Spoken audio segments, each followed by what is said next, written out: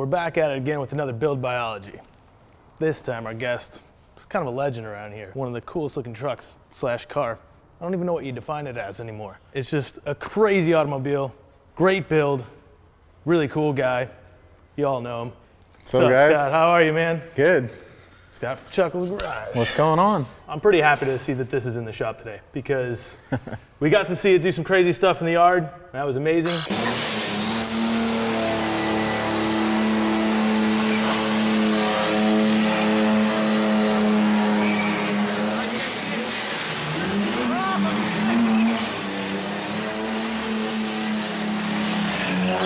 Now we get to dig into it, see what it's all about, see what all the build process is all about. And I mean, just outside visually, it's just stunning already.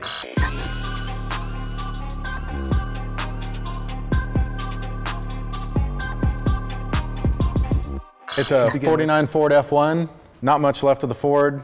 Full tube chassis, billet front suspension, race car built from the ground up. Yeah. Um, race truck, race car, race thing. So how much of this on the outside is actually still the factory truck? The entire body is still there. About 40% of the original chassis is still there, mm-hmm. but it's all boxed in and wrapped into the full tubular chassis that's around it. Kind of the same concept as like the NASCARs, how they have the two frame spars and then the Yeah. tube chassis around it. And then it's just the 49 Ford body panels on top of the chassis. That's the body panels are all that's left of the original truck.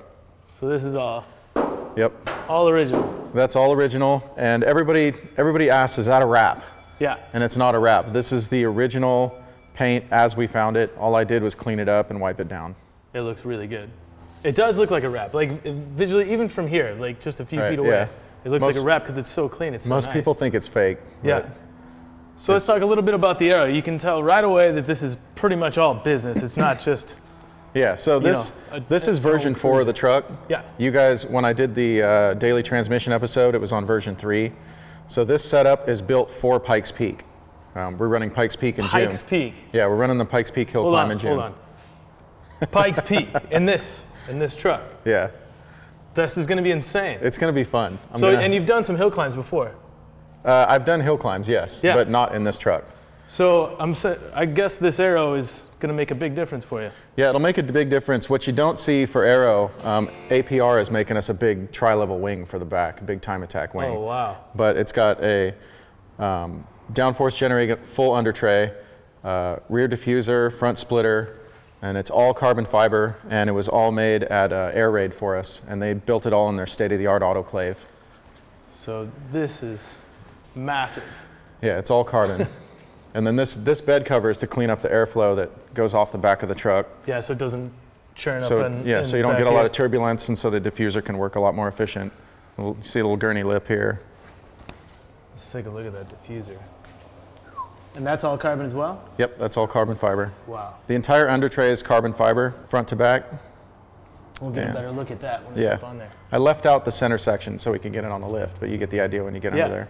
Was there any uh, testing involved with this or for the aero? For the Aero, yeah, yeah, Air Raid, Air Raid did all the preliminary testing on it, Okay. and then the actual track testing doesn't start until May 5th. Gotcha. So we can we can get adjustments and everything. So it's it going to have a three level. How? What are we talking? Do you even have Um, an idea of the what wing- they've said yet? Or the wing APR is making it's 78 inches wide, and then it's a tri-level wing, wow. which it'll make quite a bit of downforce. because this is all still steel.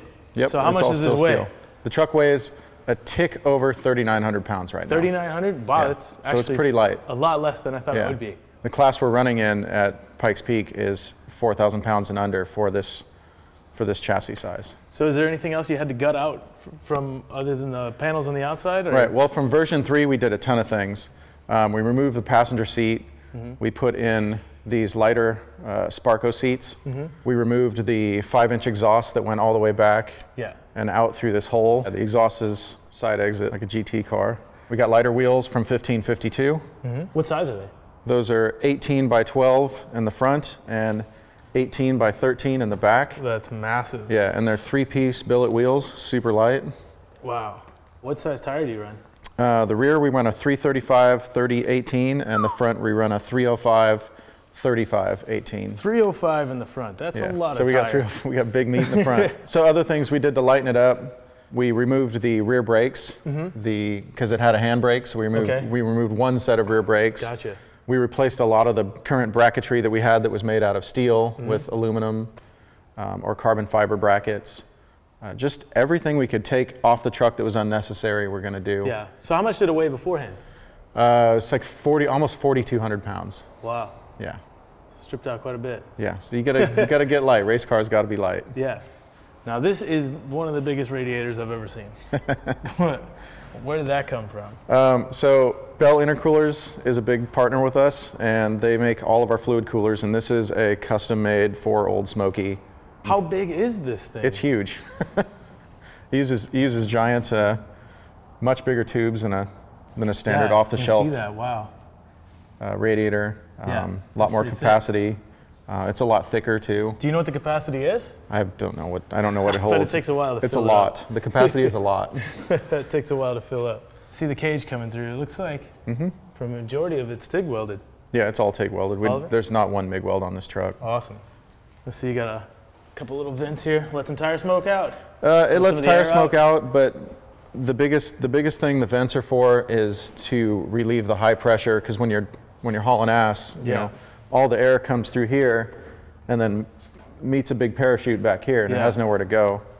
I say So- that's probably one of the biggest deals you had to, to find out about this truck is where everything's actually going to go, how, how the wind's going to travel around. Yeah, it. that's why it's been through four different versions. Like we, you know, you you build it, you test it, you break it, you make it better, and then you break it again, and it's it's just a long evolution. Yeah, I mean the the hours to put into this just to figure out what's this was not designed to do this Yeah. beforehand. this truck was not designed to go as No. fast as you're going to put no, this from thing. the stock from stock, this truck had 86 horsepower. 86. Yeah, and now, it's at now it has over 1,200. yeah over 1200. So that's a, a massive difference. It's a little bit. Man, you guys found a dimple die set and we're like, yep, let's do it all. yeah, well, that's a, that again is to relieve any high pressure area that's back there. That looks really slick. And this is for the shoot. Yeah, so that's for we do land speed racing with the truck too. Okay. So this is the parachute anchor down here. Yep. And this is the little parachute receiver. That's cool. It's real slick. And the speed holes I are hardly cool even too. noticed it when it, you know, it was just like, hey, that's weird. There's Yeah. a little, Well, the speed holes let you see all the cool stuff like the tube chassis and the oh yeah, fuel safe really cell cool. down there. I love it. Fits so nice. And this is, I'm assuming, another jack point too, if you need it. Yeah, so we actually have because it's when the when the under tray's on it, it's really hard to you can't jack it up anywhere. Yeah. So I built some special jacks that slide in and hook to this, and so it just jacks up the front, and then there's a jack setup that pokes into those two uh, the front bumper brackets Yeah. and lifts up the front. That's cool. Fabricating tools for your own car is cool too. That's that's something I like to see. This whole thing is just it's all scratch built. Everything's bespoke to it. Well, let's get a look on the inside here. And uh, All right. right away, I can tell that this is not factory. No. This is all removed. No, What these about- didn't these didn't come in 1949. What about the windshield? Uh, the windshield is uh, it's just custom safety glass that fits in the in the factory location. This this is all scratch proof Lexan with the rally style little slider here. Because you have to meet specific specifications Mm-hmm. Yeah. for everything you're racing. So Yeah. you're doing multiple different things, and uh, The whole truck the whole truck has to meet FIA specifications for the race. that's a lot of work to get into something this old. Let's open it up, take a look inside.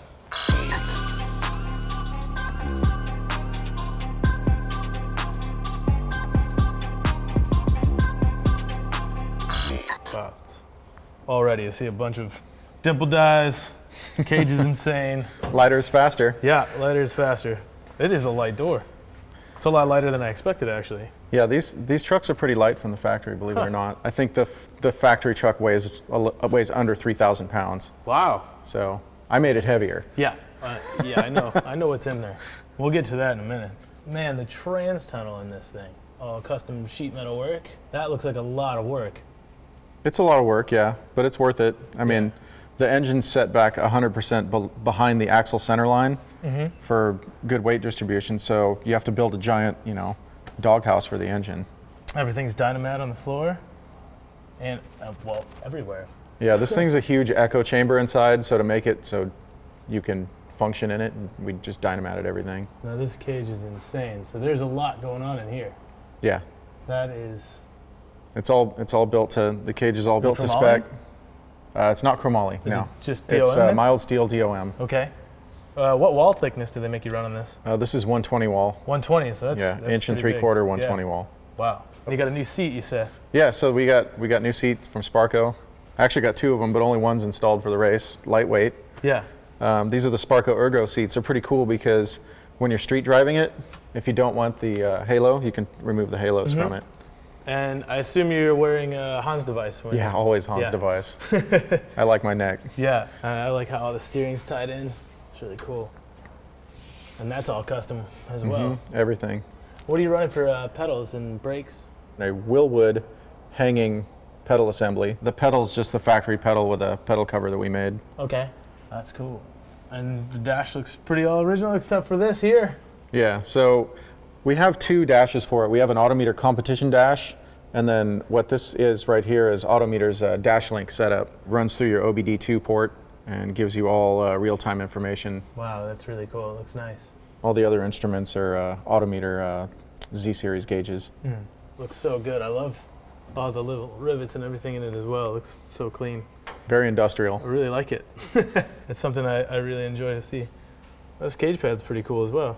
Yeah, No, you got to get you got to get player points. So Yeah, that looks we really got the we got the suede leather. uh, Instead of like what looks like an old pool noodle, this is like what everybody. no, we got the good padding, and then we got the suede leather uh, Yeah, stitched uh, really stitch nice. covers.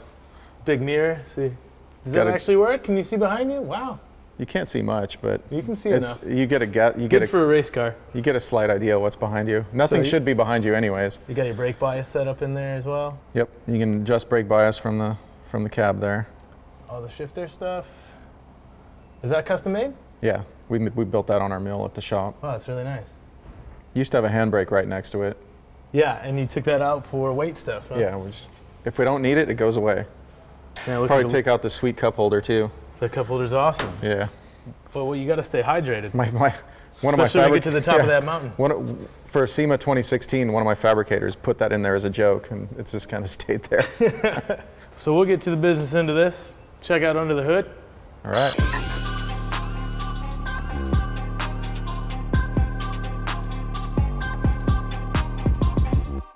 Well, we got a we got a 5.9 liter Cummins turbo diesel that was sourced from a 2005 Freightliner truck. So this is not an original Ford motor, huh? No, definitely not, not even close. Look at this thing. It's not even out of a Dodge truck, which is where most of them come from. So what did it come from? it came in a two, 2005 Freightliner medium duty truck. Wow. It was an old FedEx truck. And, and how did then, you uh, source this engine? Um, well, I found it on Craigslist. And Yeah? It was a wrecked uh, FedEx truck, and I just peeled it out. This is a 5.9 common rail, and the difference is this one's 24 valves instead of 12 valves. It uses a common rail injection system. It uses these uh, CP3 uh, rotary fuel pumps, and there's two of them, and Mm-hmm. they're they're built by industrial injection, and each of those pumps can support 1,200 horsepower worth of fuel Each. each. A yeah. piece. Yeah.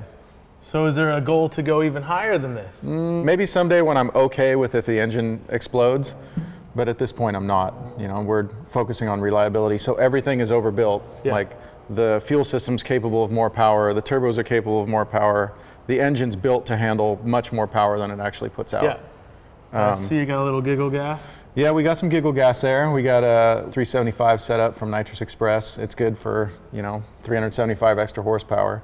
The initial, the initial turbo setup on this um, was much bigger, and re- sometimes, you know, in certain situations required a little giggle gas to To get it get it up.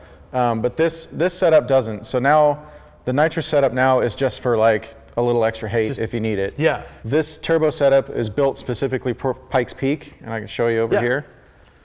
For Pikes Peak, you want tons of power and you want low lag time. You want Yeah. instant spool. Instant so for the instant spool, we have a Garrett GTX 3584 RS. Mm-hmm. Gives you the initial spool. And then right here, you've got the uh, GTX uh, 45 series turbo. And this one is the high volume, low pressure turbo. Yeah. So you've got high volume, low pressure, and high pressure, low volume here working together to create a high pressure, high volume turbo, which Yeah. is like the perfect storm. Yeah. Um, and then that this this setup right here will probably support 13, 1400 horsepower. When do you see boost? When do I see boost? Well, it makes it makes a little under 2 psi at idle. Yeah. So, I mean, max like this turbo is fully angry at about you know 2,000 RPM. And what PSI would you be sitting at there? Uh, well, at full boost, we're making a little over 100 psi boost. 100 PSI. Yeah.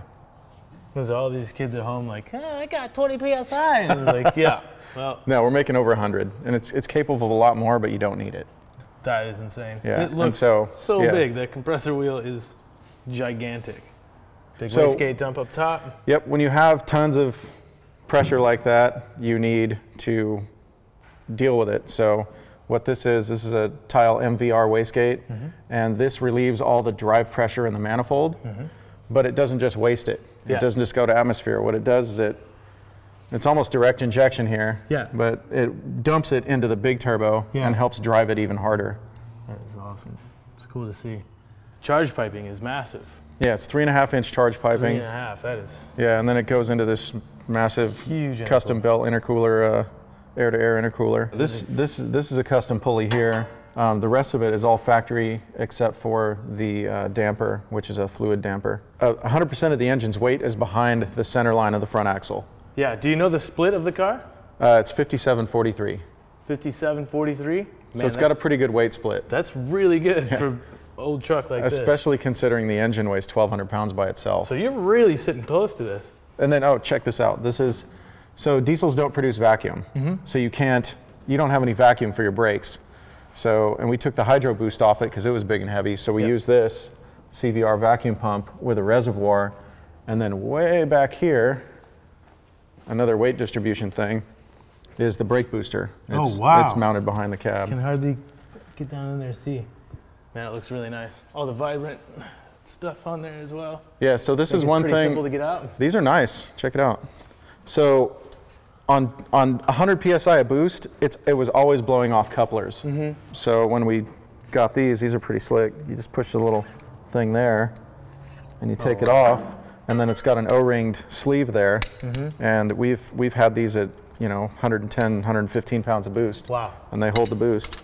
And how thick that intercooler core has to be to take all that as well. Yeah. Yeah, well, you know, the more the more thickness you have, stuff. the the more surface area you have to cool it. So mm-hmm. bigger is better. And I can see a little bit of this tray down here, but I want to see everything now. I can see a lot of suspension work. Let's Yeah. get it up on the lift. All right, let's do it. Let's check it out.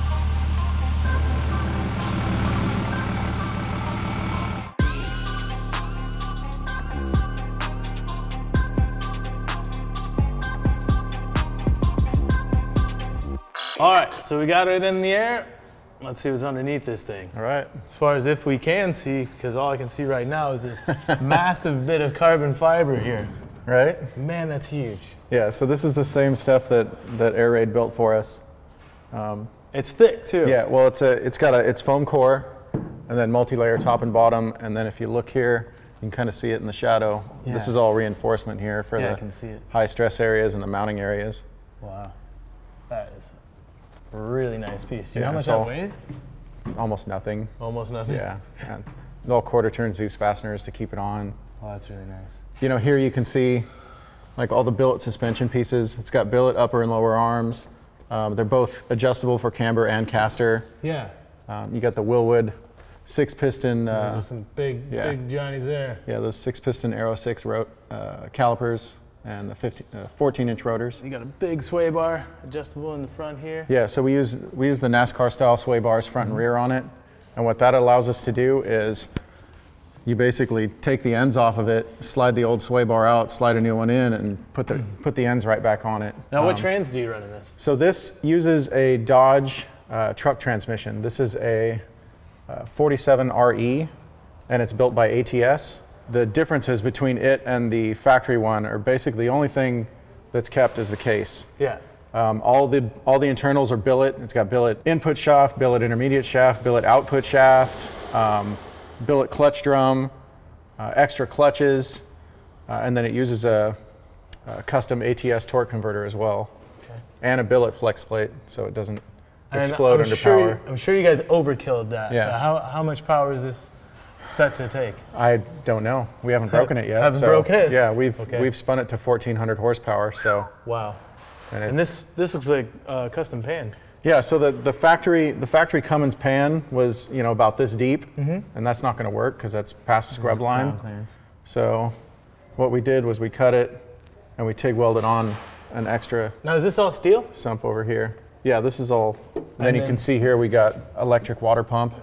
So we still use the factory water pump, Yeah. Mm-hmm. like a high performance factory one, but then we also add this one in, and That's that a cool little mount too on Yeah. the side here. And It gives easy us- to, easy access Yeah, to every- work on. So everything we tried to make as easy to service as possible because it is it is a race it's a race car, so you got to get to it. Yep. And we can see all the chassis stuff, where you boxed everything out. Yeah, so everything, the whole chassis is boxed in with 3 16ths plate, and it's all TIG welded.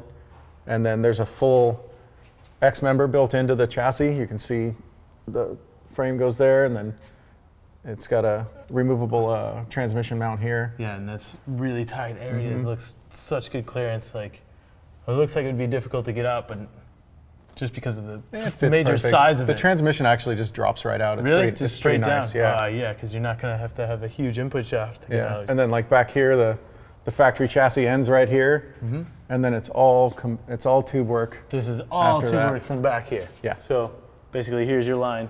Mm-hmm. Everything back from this point. All that, all tube. So then we got Winters super heavy duty quick change. It looks like a super heavy duty Uh, yeah. quick change. I've seen And a few of these. I've replaced a few of these.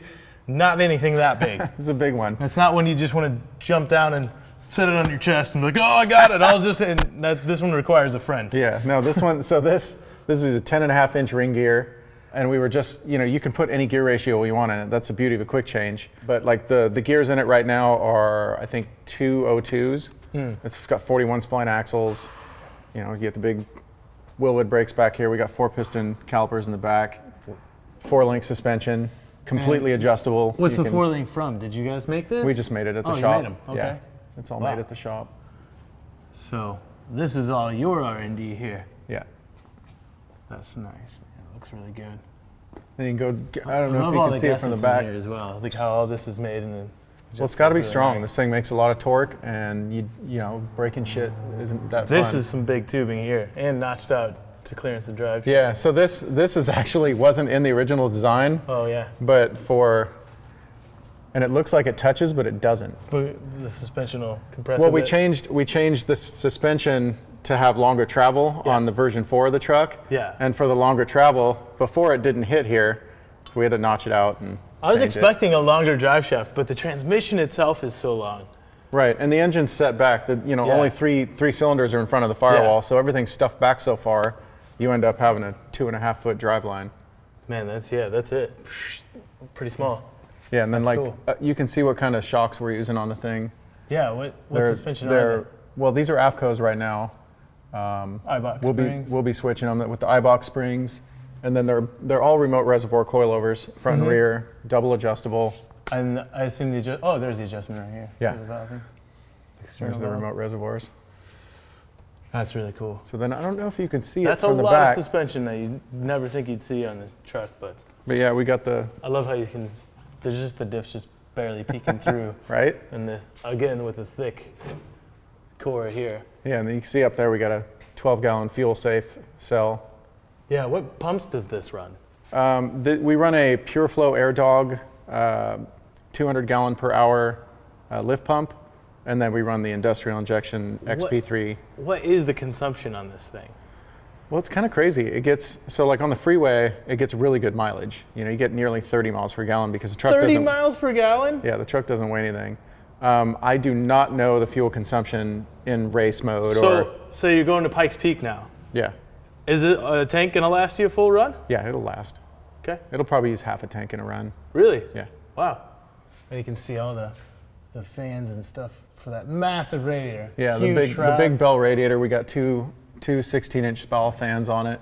You can see the uh, remote um, Oh yeah, brake booster down here better.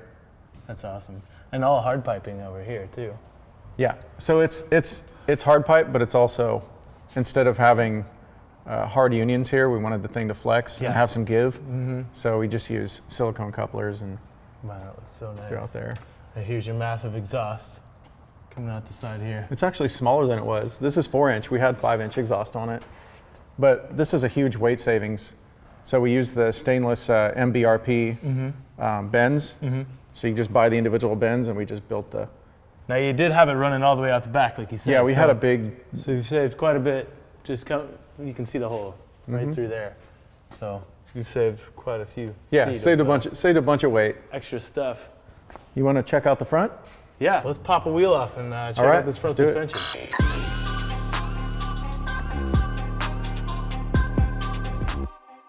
Inside, all the hard work. Wow, I can see a lot more than I thought. Yeah, so know, you can turbo and uh, everything, but you can see a lot of the internal stuff here. But you know, like I said, the Wilwood Aero 6 calipers, those are huge. floating 14-inch rotors. We use our race pads on it. you can kind of turn this. You can see, all the suspension. Yeah. Yeah, the billet, billet billet top and bottom. The tops are nice because you loosen this little jam nut here, and your eccentric is right here. That's really cool. I like that. That's so slick. Yeah, and then so That's On- machined nicely. On top here we've got the shock tower that can take um, different size shock mounts. So if I want a longer Oh, wow. travel shock, I can swap these two plates out and put a longer travel shock Wow. in on the same tower without having to So it cut would stuff just up. slide up in here because this is this is what's spacing it down right here. Yeah, So this would move it at a different point. yeah, you can move it up. You've got an you set if you. So you- do you have spares on, on site with you that? that yeah, would I've got? I've got several different coilover setups for it. Wow. So what are you running right now as far as springs and? Uh, Uh, springs, I've got uh, Eibach 400 pound in the back and Eibach uh, 1200 pound in the front. Mm-hmm. Um, and then we just got some neat little uh, bump springs. So instead of a bump stop, we Yeah. Eibach sells a bump spring, which is pretty slick, and we're Wow. gonna we're gonna be putting those in pretty soon. And that'll allow us to bring our spring rate down a little bit. gotcha. Now is this is this to be the final form for? Uh, It's never the final form, man. Like I mean I mean for the race coming for the up. race, yeah. So the final form will be determined like probably at the last minute. Yeah. Because we're starting testing May 5th, and we're just going to test, test, test until. All the way up until till you got to go flying up that hill. Yep. That's awesome. And have you ever driven it before? I've never driven Pikes Peak. Oh, no. this is gonna I'm, be insane. I'm really I looking forward to, see it. it. Yeah. I'm really looking forward to it, and just looking at all the man hours you have. How many man hours do you think you have into this build? Um, I stopped keeping track at over 3,000 hours. Wow. I still, you know, I still keep track of the, the budget stuff, but not. I don't keep track Even of the the suspension anymore. alone, would you even have any idea? No. It's I just one of those because there's there's so much to see. There's so much engineering and everything else going on here. And this looks great. I can't wait to see it out on Pikes Peak. I wish you the best of luck. I You're can't an wait to animal. do I can't believe you're going to drive this thing up there. It just looks like a handful. It's It's definitely a handful. It is very impressive build, man, and I appreciate all the work that you've done on this.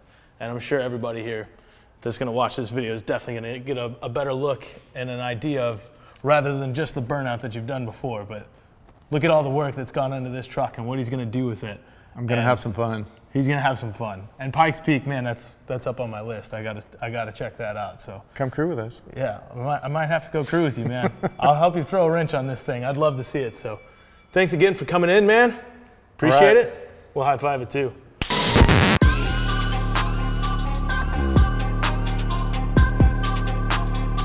Well, let's uh, spend another half hour trying to get this off the lift because it's not easy.